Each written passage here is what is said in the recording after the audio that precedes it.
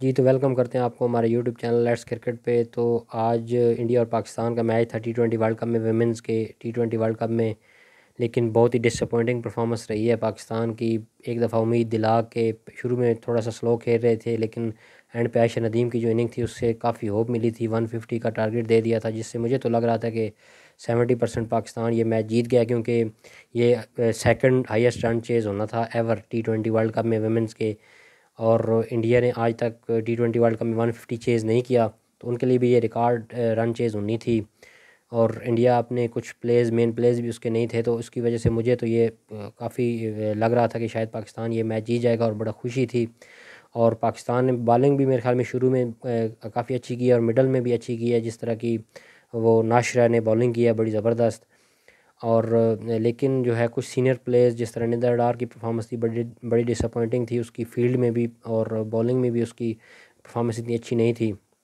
लेकिन पाकिस्तान तकरीबन सोलहवें ओवर तक जो है वो गेम में था। मुझे तो लग रहा था कि चार ओवर में जब आलमोस्ट आप उनको पैंतालीस रन चाहिए थे तो मुझे लग रहा था कि शायद पाकिस्तान जीत जाएगा। लेकिन फिर जिस तरह की बॉलिंग की है एमन अनवर ने वो ओवर जो किया है सेवनटीन ओवर या एटीन ओवर था मेरे ख्याल में।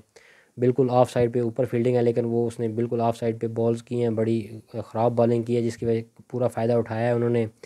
और एक शानदार इनिंग खेली है इंडिया की तरफ़ से, मेरे ख्याल में जमायमा ने। और बड़ी ज़बरदस्त परफॉर्मेंस रही है इंडिया की तरफ़ से।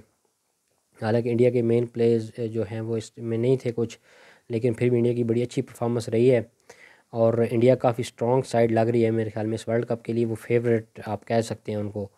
और बड़ी उनकी ज़बरदस्त परफॉर्मेंस रही है, लेकिन पाकिस्तान की परफॉर्मेंस बड़ी डिसअपॉइंटिंग थी मेरे ख्याल में। इतने रन करने के बावजूद जो है, वो आपने चेज़ करवा दिया है।